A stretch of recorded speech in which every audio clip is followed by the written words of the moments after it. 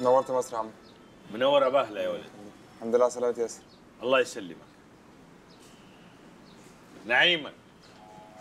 مصطفى. كفارة يا ياسر. لما عرفت الخبر قلت لازم أجي أشوفك. السجن كان موحش من غيرك. استريح.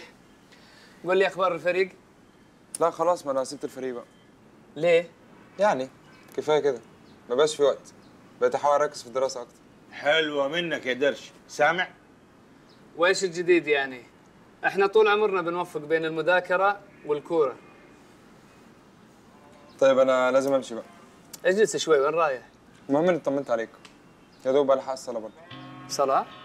آه بقيت بحضر دروس دين كمان. دروس دين؟ ما تيجي معايا؟ يلا ياسر. قوم روح معايا يا ولدي.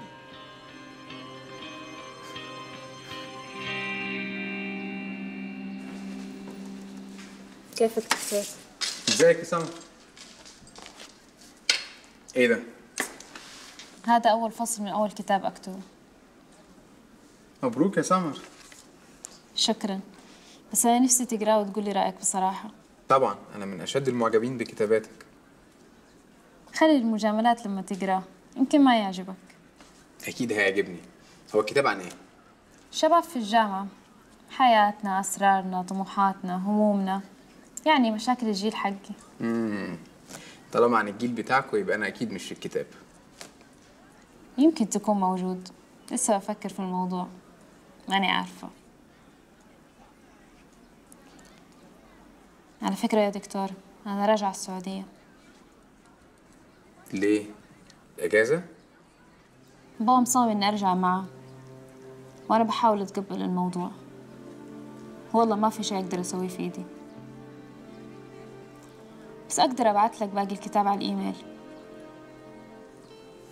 سمر انت ما ينفعش تسافري. ده أسوأ خبر سمعته في حياتي.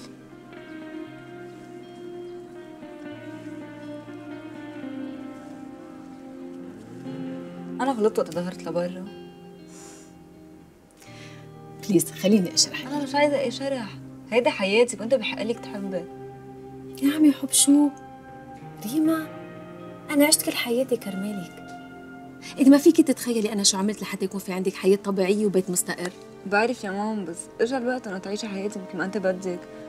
أنا ما بتمنى غير إنه تكوني مبسوطة. ريما اسمعيني.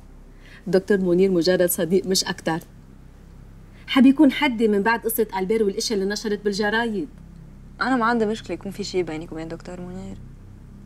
يا عمي دخيلك. بليز وحياتك وحياتك أنت. ما في شيء بيني وبين الدكتور منير.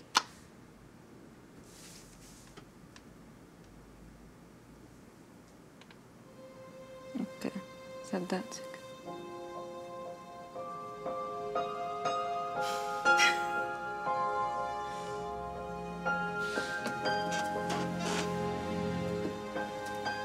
اللي أنا بحبك.